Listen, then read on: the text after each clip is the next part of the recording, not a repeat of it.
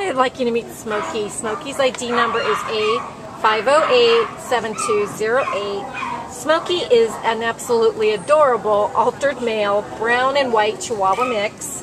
He is five years old, came in as an owner surrender because unfortunately his owner died and the family gave him up. So he's nine pounds, and he um, he's used to having a home.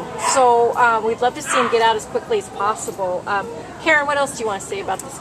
Well, when I originally met him, he was just terrified being in the shelter situation. So he would sit and shake, but he befriended me, and now when he sees me, he jumps on my lap. So he's just loving, and uh, he'll choose to love you if you choose to love him.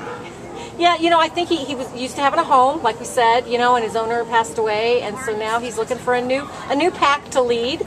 So if you're looking for an adorable little Chihuahua, Smokey's your guy.